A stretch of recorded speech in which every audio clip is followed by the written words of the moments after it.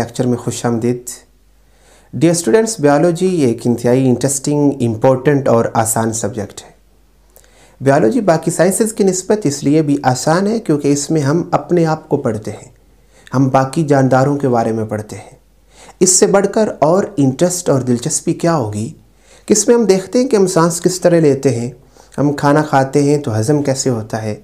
हम ग्रो कैसे करते हैं? दरख्तों पर फल, फूल और पत्ते किस तरह लगते हैं?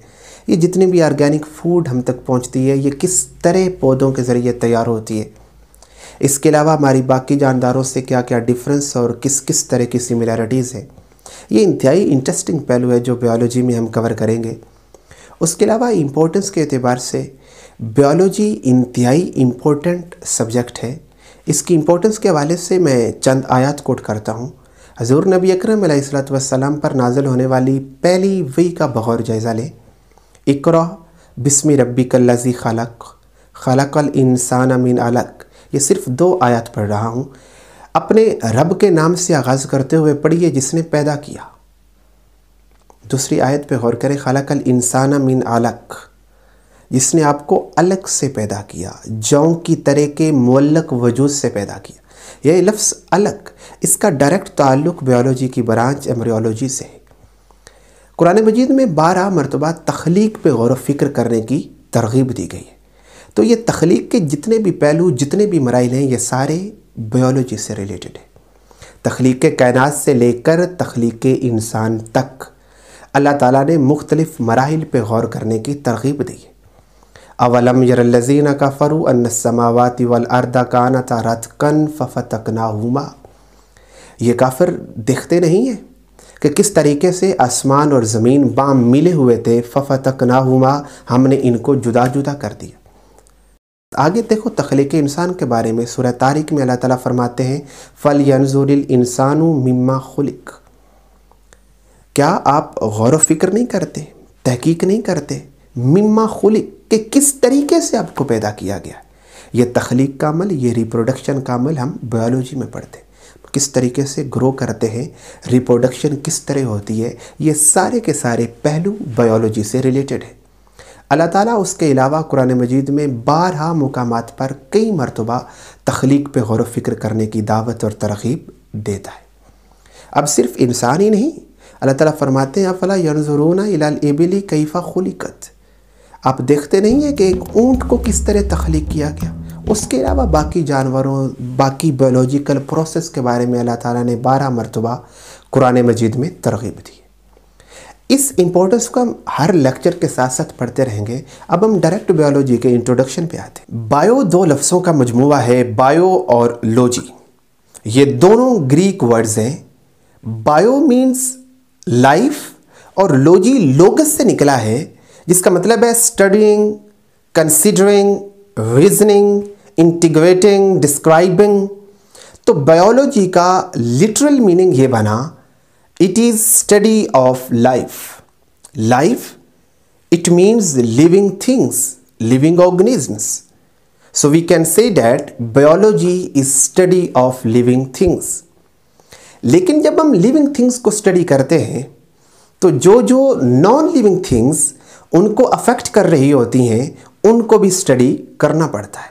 तो बायोलॉजी की एग्जैक्ट डेफिनेशन यूँ बनी biology is a branch of science which deals with the study of living things and all the non living things which affect the living things in any way living things के बारे में जानते हैं कि living things को living क्यों कहा जाता है?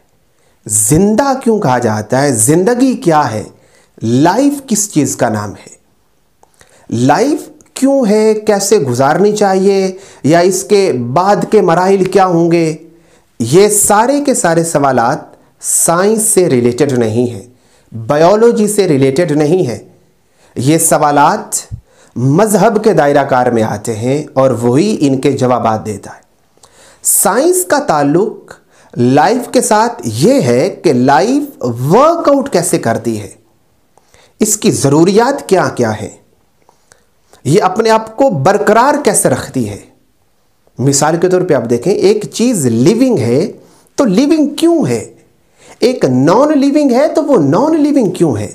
उन दोनों को डिफ्रेंशिएट करने का हमारे पास पैरामीटर क्या है?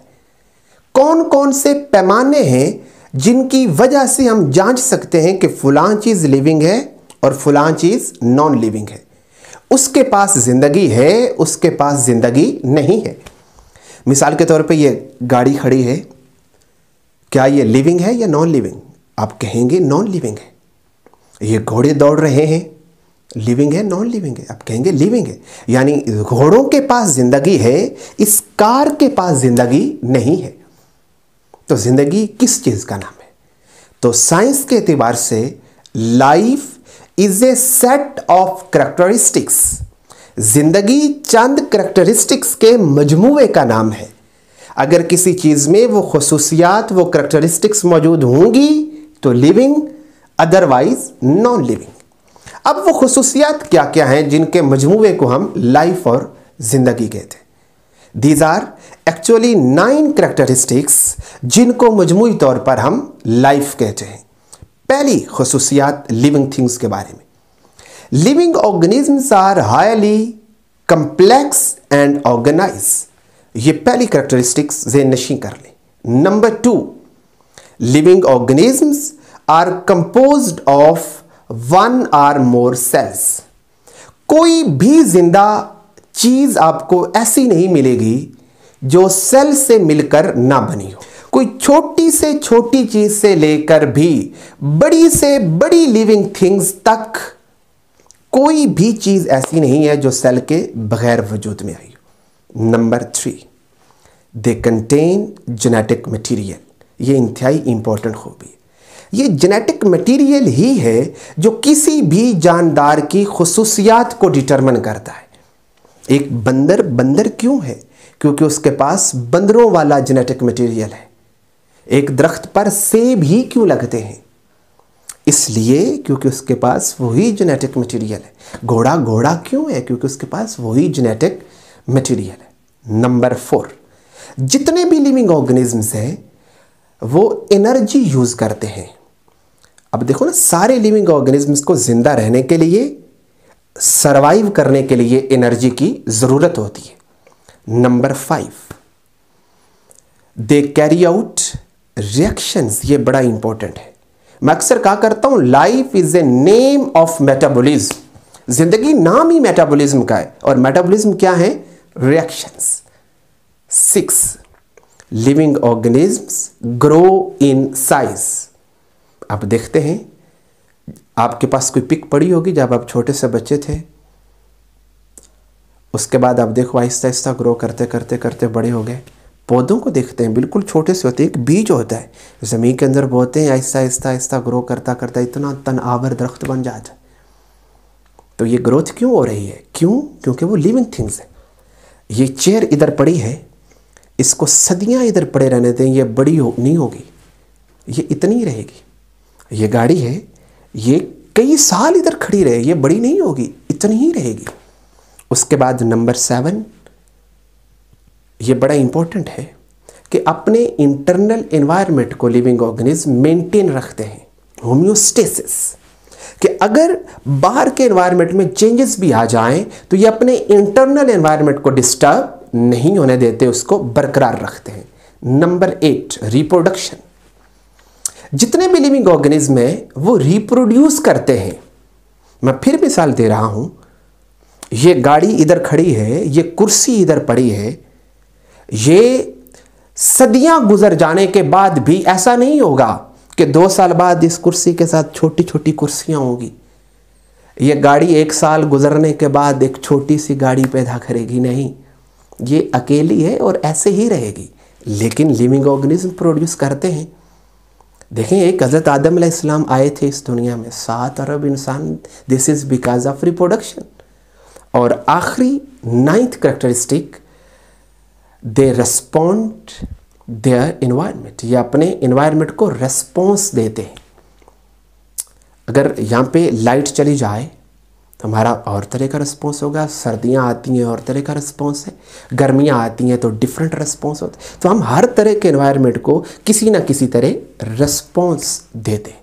So these are nine characteristics of life तो ये सारी करेक्टरिस्टिक्स मिलकर इस मजमूए का नाम है ज़िंदगी, जिसके पास ये होगा, उसे हम ज़िंदा जानदार लिविंग थिंग कहेंगे, जिसके पास ये नहीं होगा, उसे हम नॉन लिविंग थिंग कहेंगे। इसके बाद हम देखते हैं बायोलॉजी की डिफरेंट ब्रांचेस बायोलॉजी एक इल्म का समंदर है। इसके अंदर एक वाइड रेंज ऑफ़ इंफॉर्मेशन एक वाइड रेंज ऑफ़ नॉलेज मौजूद है। जब भी बहुत ज़्यादा इल्म आ जाए, बहुत ज़्यादा इंफॉर्मेशन आ जाए तो आसानी के लिए उसकी मुख्तलिफ़ कैटेगरीज बना दी जाती हैं। उसको मुख्तलिफ़ ब्रांचेज में कैटेगराइज कर दिया जाता है क्लासीफाई कर दिया जाता है। जैसे देखो ना, पहले सिर्फ़ साइंस थी, लेकिन आहिस्ता आहिस्ता फिर साइंस की ब्रांचेस बनी। केमिस्ट्री बायोलॉजी फ़िज़िक्स माइक्रोबायोलॉजी फिर आगे बायोलॉजी के अंदर इतना सारा इल्म आया कि हमें मुख्तलिफ़ कैटेगरीज और क्लासेस में कैटेगराइज करना पड़ा। तो बायोलॉजी की कितनी ब्रांचेज हैं? और उसमें किस किस तरह के नॉलेज को, किस किस तरह के एस्पेक्ट को स्टडी किया जाता है, हम अगले लेक्चर में देखते हैं। हमारे साथ रहिएगा।